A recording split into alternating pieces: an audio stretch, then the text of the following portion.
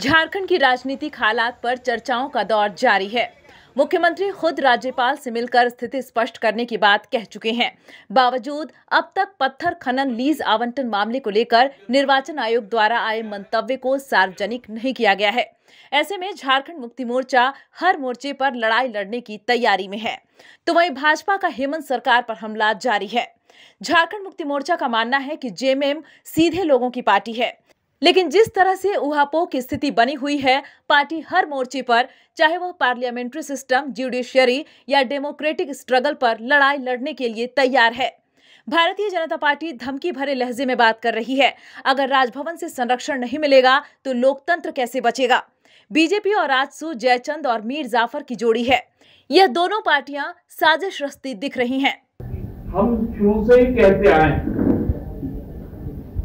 कि हम अपनी हर लड़ाई, जो भी उपलब्ध प्लेटफॉर्म है, चाहे वो जुडिशियरी हो पार्लियामेंट्री सिस्टम हो, या डेमोक्रेटिक स्ट्रगल ये तीनों जगह, हम संघर्ष को तैयार भाजपा का कहना है कि भ्रष्टाचार के मामलों के प्रति मुख्यमंत्री का नज़रिया अपनी सुविधा अनुसार बदलता रहता है। एक और वे राजभवन और इलेक्शन कमीशन के पास घूम घूम कर गुहार लगा रहे हैं कि उनके माइंस लीज के भ्रष्ट आचरण वाले मुद्दे पर फैसला जल्दी आए, लेकिन दूसरी ओर अरबों रुपए के मनी लॉन्ड्रिंग के मामले में और लोकपाल में आय से अधिक संपत्ति मामले में उनकी लीगल टीम पूरी कोशिश कर मामले को टालने का प्रयास कर रही है। देखिए, माननीय मुख्यमंत्री जी अपने कन्वीनियंस के अनुसार संवैधानिक संस्थाओं का उपयोग करते हैं। एक तरफ़ उनके खिलाफ जो शेल कंपनी है, उनके करीबी लोगों के खिलाफ अरबों रुपए की मनी लॉन्ड्रिंग का जो मामला है, वो सर्वोच्च न्यायालय में लंबित है। उस पर अंतिम फैसला आना है, लेकिन वहाँ माननीय मुख्यमंत्री जी ये जाकर नहीं कहते कि इस पर फैसला जल्दी आना चाहिए। इसके अतिरिक्त लोकपाल के यहाँ भी जो फैसला लंबित है, माननीय गुरु जी का उसमें माननीय मुख्यमंत्री जी स्थगन स्टे ऑर्डर लेने चले जाते हैं, जाँच को रुकवाते हैं।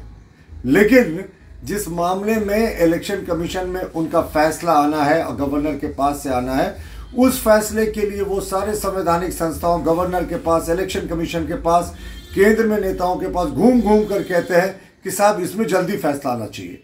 तो माननीय मुख्यमंत्री जी, एक ही तरह के मामलों में दो अलग अलग तरह के इस तरह की विचारधारा आपकी क्यों दिखती है?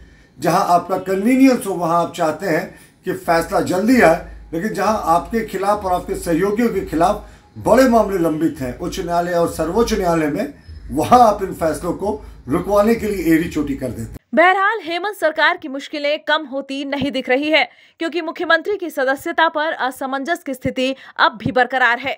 ऐसे में जेएमएम राज्यपाल से गुहार लगा रहा है तो वहीं विपक्ष हेमंत सरकार को लोकपाल में आय से अधिक संपत्ति मामले को लेकर घेरने में लग गया है, जो सरकार की सेहत पर बुरा असर डाल सकती है। न्यूज़ विंग के लिए रांची से मनीष झा की रिपोर्ट।